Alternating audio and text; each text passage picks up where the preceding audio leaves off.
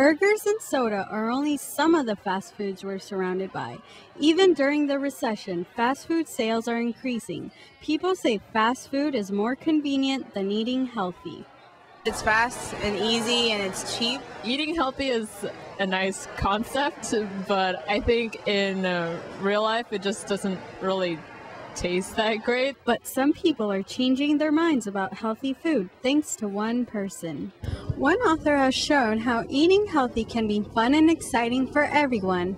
La Carmina's new cookbook, Cute Yummy Time, features 70 recipes for the cutest food you will ever eat.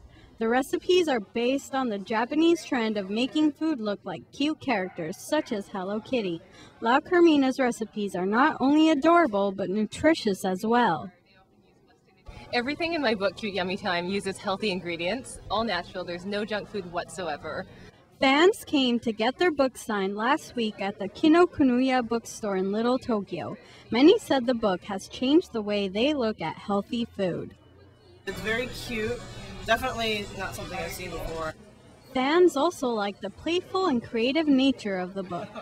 I like the idea of kind of making food into art and making it cute. La Carmina looks at her books as thinking outside the bento box. She wants to show how eating healthy can be an enjoyable experience. You can mix it up, you can cut shapes, make eyes, make faces, mustaches, and suddenly a meal that you thought was pretty boring becomes exciting. For those looking to take a break away from fast food, these smiling snacks offer a healthy alternative. This is Merisenda Bills, KUSC TV News.